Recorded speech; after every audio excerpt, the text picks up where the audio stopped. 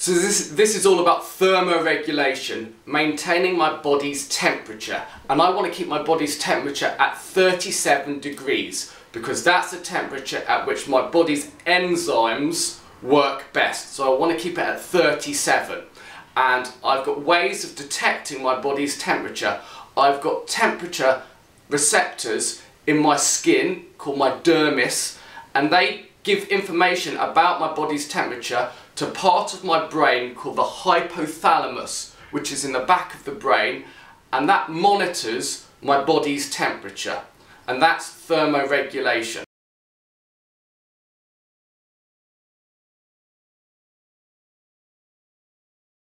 I'm really, really cold.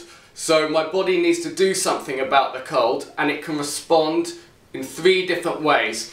The first thing is I'll start to shiver and what happens there is that the hypothalamus in my brain tells my muscles to contract very quickly and that process releases heat. As I shiver and my muscles contract it releases heat. So shivering is one way.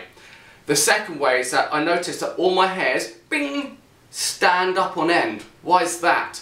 That's because there are little muscles in my skin called erector muscles which are connected to the hairs on my skin and when my erector muscles contract the hairs stand up on end, they trap the air which acts as an insulator and warms me up. So that's the second way, my hair's standing on end.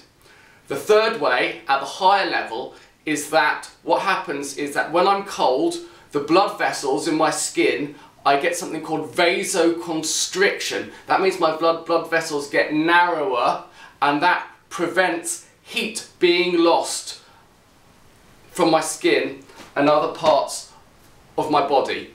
So three ways we've got there. Shivering, hair standing on end, vasoconstriction.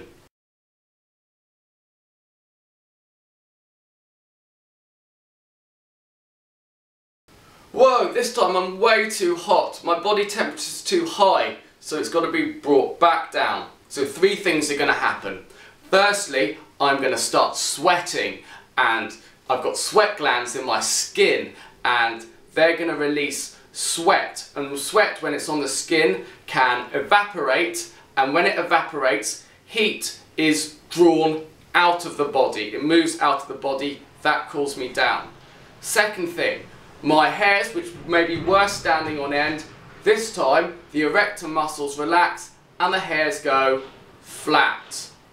And the third thing that happens is that instead of vasoconstriction, my blood vessels, I get vasodilation. My blood vessels get wider.